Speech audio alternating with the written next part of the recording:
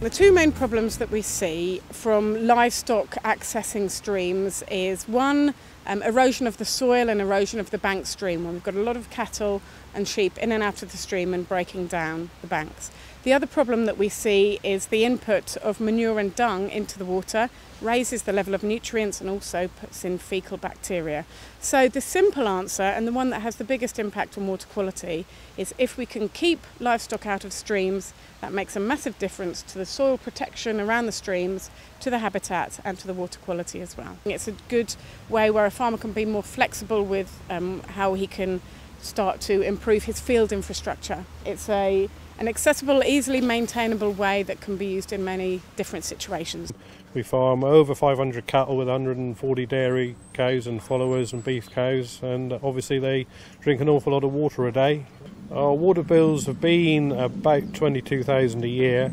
and now we're only using mains water for washing the parlour down and in the house, so the cattle are drinking the rest of it, and we're estimating between 18 and 20,000 pounds a year saving. Southwest Water actually incentivised to get people to use less water, so it's a, it's a, it's a misconception that we make money from selling more water.